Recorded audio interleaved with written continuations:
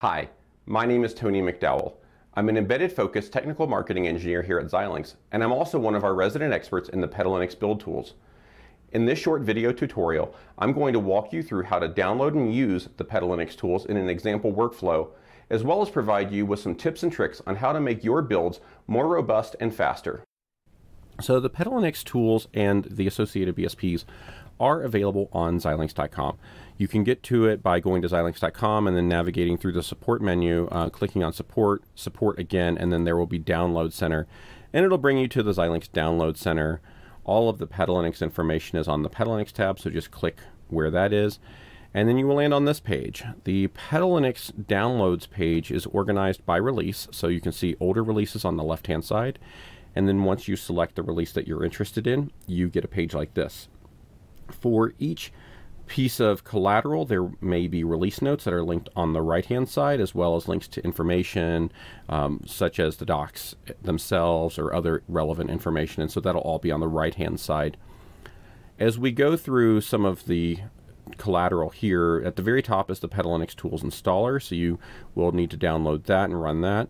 Uh, then we have a series of BSPs for different architectures. So we start with Versal ACAP BSPs, then Zynq UltraScale Plus MPSoC BSPs. Then we have some Zynq 7000 BSPs and then some Microblaze BSPs here. Following that, we have some common images for the Vitis tools, and so you can use these common images to use a supplied kernel configuration and root file system configuration to speed up your Vitis development process by being able to reference those uh, sysroots and things uh, so that you can don't have to do that on your own.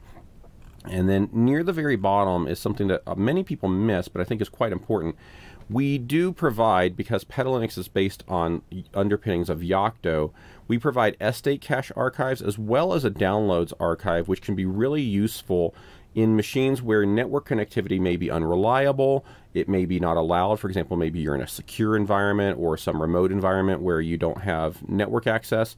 So you can download these things once on one machine, transfer them manually to your development machine, and then leverage them during your build process. Later on, once we switch over to the tools themselves, I'll show you how to do that.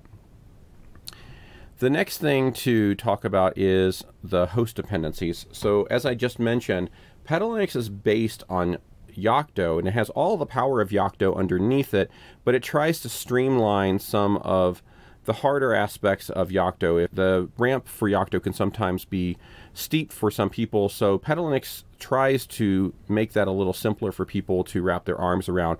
It has a very limited command set that's very intuitive, and it overloads commands in a very context-sensitive way.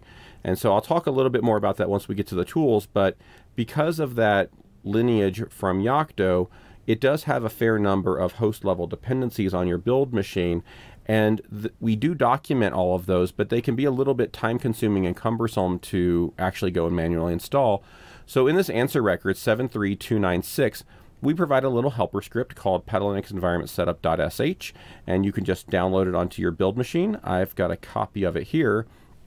And it basically, as you can see, will go through all of the dependencies and make sure that they're set up properly. So, for example, if it detects that you're on Ubuntu, and we know that on Ubuntu we need to change the default shell from dash to bash, it will take care of that here in the script. And then once it detects what operating system that you're on, it has an operating system specific list of packages that it will iterate through and make sure that all of them are installed properly and that you're ready to go. And so rather than doing everything manually from the documentation and it taking a fair amount of time, this script will run in just a minute or so and then you'll have everything ready to go before you run the PetaLinux installer.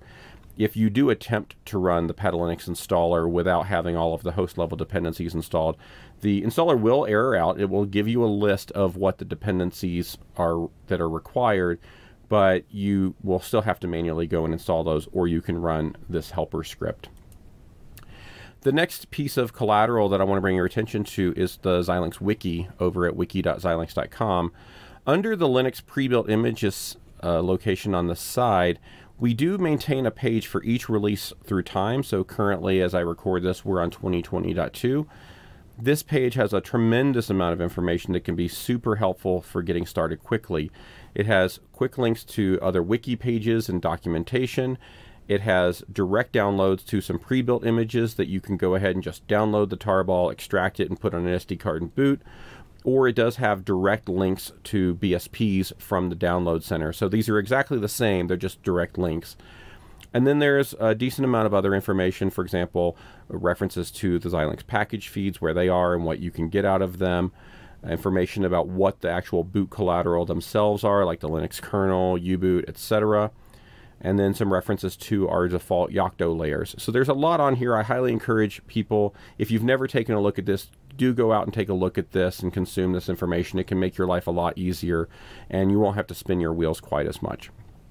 And then the last thing I want to bring your attention to is that surprisingly, the feedback I get from customers is very often that a question that they have or a concern they have is already answered in the documentation for PetaLinux. So I definitely recommend that people download UG 1144 and take a look at it. It has recently had UG 1157 combined into it. So the command line reference guide is now part of UG 1144 in Appendix J. This document is organized in such a way that it will walk you through a flow from creating a project to configuring a project to adding new things into a project and then building and packaging a project for deployment. There's also a lot of other information about doing some advanced things in here, like bringing in pre-built applications or pre-built libraries, information about how to interact with Yocto, or for example, if you wanted to use Yocto commands directly on a PetaLinux project, how you might do that. So there's a lot of that information in here that I highly encourage people to download the documentation and really review it or really use this as a, a first line of defense search collateral when you're looking for information. So with that, let's jump over to our actual environment. So I have a uh, already ready to go machine. This is a little Linux build machine that I have set up. I have already run the installer for the tools, but I'll walk you through how that works as well. So in this machine, I have a little network share area that's going to make getting files in and out a little bit easier. It's at slash builds, and so I have a Samba share here that we'll use here in a moment and I have installed the tools already into Tools Xilinx PetaLinux 2020.2.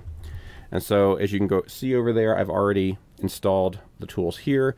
And the way you would set up the PetaLinux tools is that you would just source the settings.sh script and you can just source it. Now I'll probably get a message from the tools because I've already done this before, but let's see. And there we go. Now it's set up and ready to go. One thing you note here, and I'll just go ahead and call it out, is I want to hit as I go through this walkthrough with you guys some common messages and what they mean and whether or not to be concerned.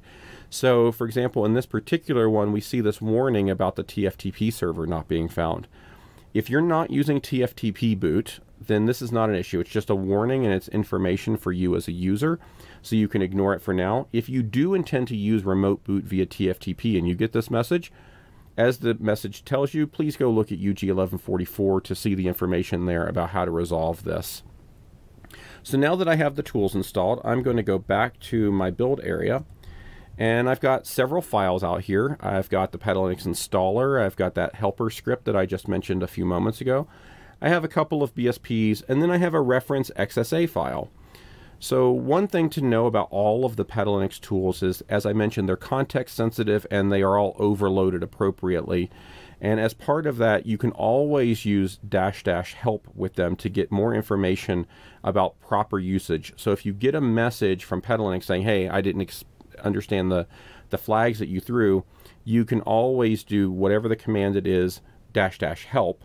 And then because they are context aware, you can also do dash dash whatever option you were trying to run with dash dash help, and you'll get context aware help as well.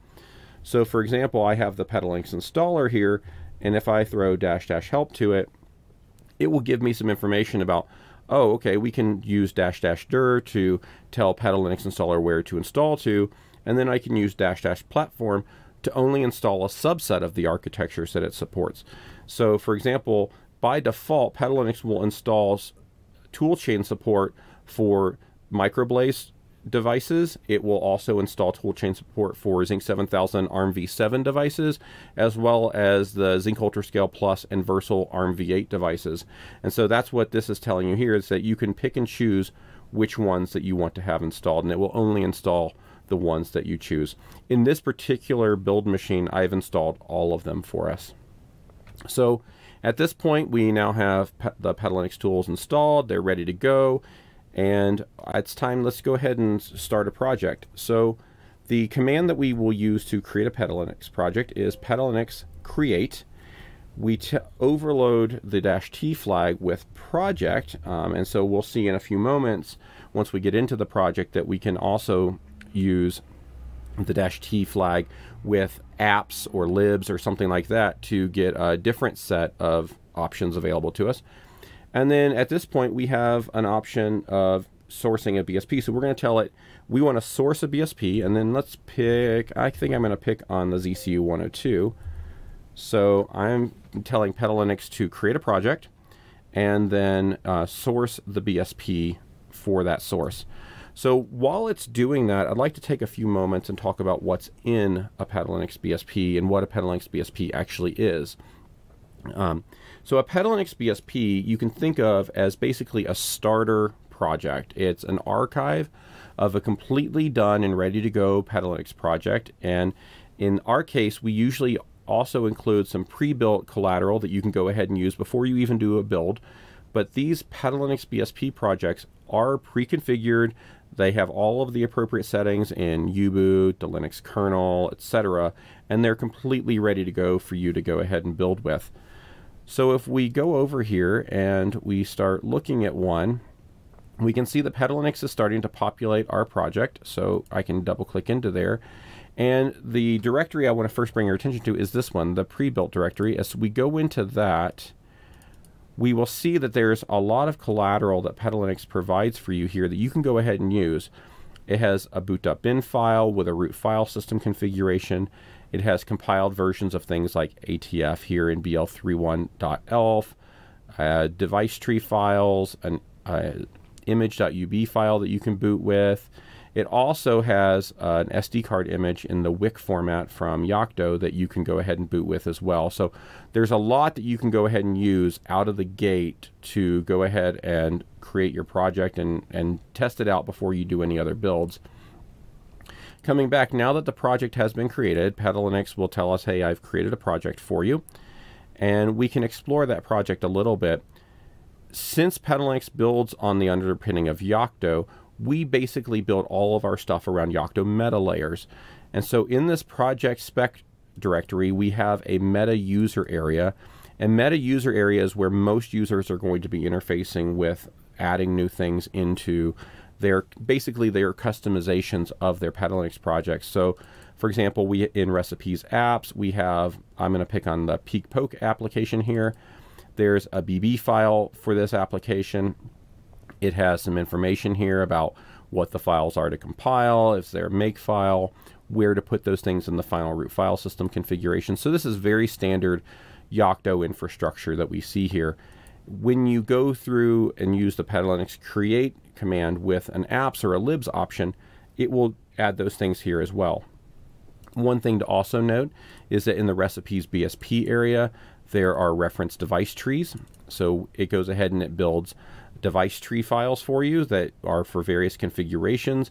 This would also be true if you're building directly from an XSA from Vivado. So definitely be aware that this project spec area in the meta user recipe layer is going to be where most things that you need to find are going to be located. In the hardware description area, this is basically an extraction of everything that needs to be used to build. In this case, because we're targeting Zynq UltraScale Plus for the ZCU 102, it has a copy of the XSA file that came from the original design, the PSU init.c and .h for the FSBL, as well as the bitstream for the PL region of the device. And then in the configs area, you can start to see this is where the Petalinux tools are going to keep a lot of configuration data for you as you go. So that's basically the general hierarchy of a Petalinux project. Once we run a build, we will also see a couple of new directories appear that I'll bring up in just a few moments once those builds have been completed. The first is going to be the build directory, and this is going to be where Petalinux does all of its normal build and where all the build collateral is generated. And then as it finishes building, there will be a new images directory that is where all of the output products are put for you to actually start to package together. So let's go back over to our terminal and we need to first cd into our project. So the name of the project has been declared here. We're going to cd into it. And then as I mentioned, the Petalinux commands are progressively context aware. So we just used Petalinux create to create the project, but now we want to start configuring some things. So by default, we can just use Petalinux config, and we will run that inside of the Petalinux project with no arguments. So just Petalinux config. And this will bring up an ncurses based interface that will allow us to start customizing some general things about our project. And we're probably going to go into this a couple of times because I want to illustrate some points. So as you can see, this is ncurses, so I kind of have a, a weird character-based interface here. Depending on uh, your kind of ncurses setup, you may see prettier interface here. But we have um, a menu config options right here. And so the, a couple of the ones that I want to bring your attention to are here near the top and uh, some near the bottom. Uh, so we're going to start with Linux component selection. And so basically this starts to allow us to control what things are we going to allow Petalinux to build, which ones do we not want it to build. And if we were to go, for example, down into U-boot and pick that, we can actually tell Petalinux, rather than using the source code for U-boot that you are designed by default to reference, you can also use a remote source to bring in that source code and build that on, on the fly as well. So that's an important feature that allows you to customize. So again, for default, it's going to already have some of the Xilinx infrastructure pre-set up, so it'll clone those things and build those things as we go. Uh, if you have a different repository that you'd like to bring source code from, you can specify that here. As we go down, there is a section down here for image packaging, and this is another place where you may get some information and, and warnings out of the tools if you don't change some options here. So just like I mentioned earlier, by default, Petalinux tries to build in case you want to use TFTP boot, but if you don't, um, then you will get that warning like we saw earlier. But if you uh, build with this option here, copy final images to TFTP boot, um, and that does not exist, then it will also throw a warning there. You can leave the warning alone. It doesn't really matter for anything, but if you just want to suppress the warning, just turn off the option here. And then we have some other options about what do we want the final bootable kernel image uh, file to be called, and what kind of a, a INITRAMFS configuration do we want. By default, we're going to leave these um, uh, alone here. And then I want to bring one more bit of attention here in the system level config and that's in the Yocto settings. So we're going to have to actually exit the system level config to get some information. But one of the things I mentioned when we were looking at the downloads page is that we do provide state cache and downloads directory archives so that you can use those to make your builds go faster or even work at all uh, when you're not on a network. And so the downloads directory is going to be used in this premirror URL area, and then the state caches are going to be used in this state feeds settings. So I already have those on this build machine, and I'm going to go get the paths for them so that we can use them in this project. And I will show you how that works. So let's make a note here that we're going to store the state cache and then the downloads dir here. And now we're back at the terminal. And I know that I have put those over in Tools, Xilinx, Petalinux. And you can see the downloads directory here. So I am going to get a PWD for the downloads directory. And I'm going to copy that path over here so I can reference it when I'm in the Petalinux tools. And then I'll do the same thing here. And so I'll grab that path so that we have it. And then let's go back over to our project and then run Petalinux config and go back into those Yocto settings. And now we'll go into that Premirror URL and you can see that this is actually referencing currently the Xilinx area on petalinux.xilinx.com. And if we leave it alone with this, it will actually download all of those things from the web. Obviously, if we don't have a network connection, that will fail.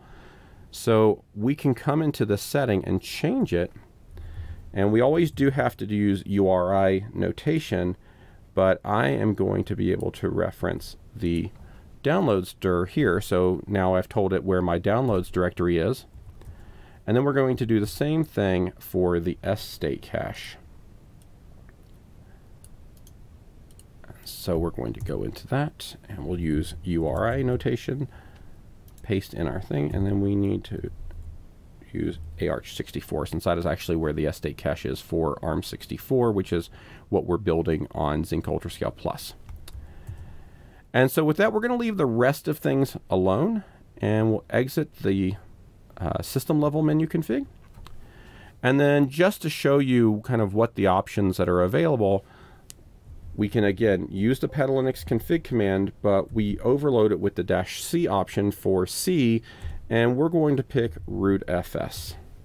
And this brings us into the root file system configuration. So in here, I can go into these apps, and as you remember, we, when we were looking in the meta user area, we saw that GPIO demo and PeekPoke were out there. We can see here that neither one of them are enabled, so I am going to enable PeekPoke because I just love the PeekPoke demo. And then we can go into file system packages and we can start looking and we can either leave things alone or we can add new things. So if we go, for example, into fonts, we can see that there is a font package here. And if we wanted to add it, we can add it here. And when we run our Petalinux build, these things will be brought in. And so we see here, like for example, in features, and there are other things that can be brought in here as well. So definitely explore this.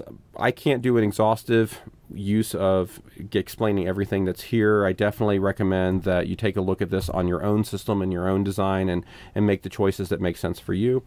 And then just one last config to just show you what you get, can get to. We can throw the dash C flag with kernel and we can get into the Linux kernel config and we can go in and edit things there to optimize and tune our Linux kernel.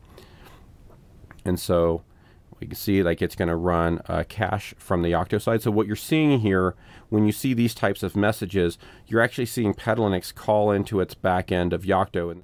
So here I am in the Linux kernel config. For the sake of brevity in this video, I did trim some things that happened in the middle. So if you are running petalinux config-c kernel for the first time on your project, there was a series of Yocto cache initializations that happened, which I've trimmed from this video, but don't be surprised if you see them on your particular project. Once we get to this point, you can see that this is a standard Linux kernel menu config. You can change options here. You can do things like optimize what you want your version to appear as or anything else that you could normally do in the Linux kernel config, you can do that here. So I'm going to hit exit on these and leave this alone. And that's going to take us back to our command prompt. So at this point, we can actually start a build if we wanted to, but I'm going to do one more thing. And I'm actually going to create an app and I'm going to do petalinux create. And this is another place where we said that things are context aware. So this time with dash T, instead of telling it I want to create a project, I'm going to tell it that I want to create an application and I wanted to use the install template and I wanted to give it a name of my app and I wanted to go ahead and be enabled in the root file system config by default.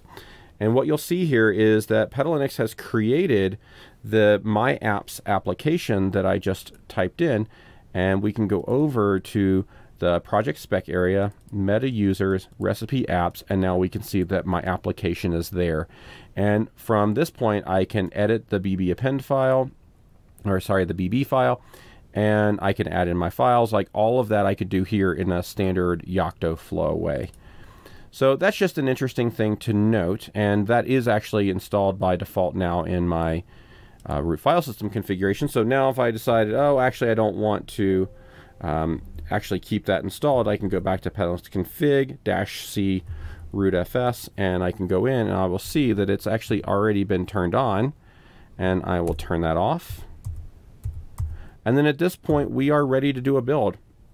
So before we go ahead and we run this, I'm going to let you know that this build process, even though it is going to be much streamlined from a normal build process, I will trim the video a little bit, but when it finishes, I'll walk you through some of the things that happened during the build.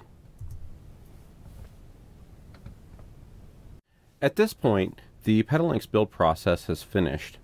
In real world clock time, this process took about 25 minutes, but that is much lower than the typical Yocto build time for a first time build, which being many, many hours if we were not using the state cache or the downloads directory. So I'd like to go back through some of the log that we see here and see where that made a difference. So for example, as the petalinux build command runs in our log, we can see that we executed it and then it immediately started looking for things in our caches. And as we went down here, we see that the availability inside the sstate cache was 100%. It found everything it was looking for there. And then the summary was it wanted 990, but it found 791. So we had a very high match of exactly one for one what was being built. For point of reference, the longest build process in this entire Go was building the Linux kernel. We did have a couple of extra packages, so if you recall, when we were in the root file system configuration, we added that font package just on a whim, and we added the peek poke user application. So those things had to be compiled and built, but they didn't add significantly to the build time. So at this point, we have a finished build, and we can start to see if we go back to our project area, we now have that images directory that I referenced before, and now in that images directory, this looks very similar to the pre-built area because the pre-built area is a version of this that was archived as part of the BSP. But we see a lot of the things that we're typically used to seeing. We see a Linux kernel image, we see an image.ub file, we see a root file system configuration. But what we don't see here that is needed for boot is a boot.bin file. So we can create that by using the petalinux package command. And so we will go into our images directory and then we can use the petalinux package command. And what we tell it is we give it the dash dash boot flag to tell it we want to create a bootable image. And then there are several options that we can pass to it. So the first we're going to tell it is that we want to use a FSBL in this. And so by default the FSBL is called zynqmp.fsbl we want to tell it that we want to use a bitstream so in this particular case, let's look up what the bitstream is called. It should be in here, system.bit. So we will tell it to use system.bit. We will tell it that we want to package U-boot into the area and that we want PMU firmware included as well. And so that should be called PMU firmware.elf. And then we can also pass an ATF, which uh, in ARM notation we call BL31 for boot level 31 and we tell it we want to call it boot.bin. And so, oh, and and so now we can hit enter and we will create our boot.bin file. And so bootgen went through, it took all of our partitions and it created our boot.bin for us. With that, we now have everything we need inside this directory. We can copy the boot.bin and the image.ub file straight to an SD card, and we can boot straight away with that with our design. Thanks for joining me on this tutorial of the Petalinux build tools. Don't forget you can find additional information on Xilinx.com. Just go to Xilinx.com and search with the little magnifying glass in the upper right hand corner. You can also get more information from other users at forums.xilinx.com and we have many examples and tutorials on our wiki at wiki.xilinx.com.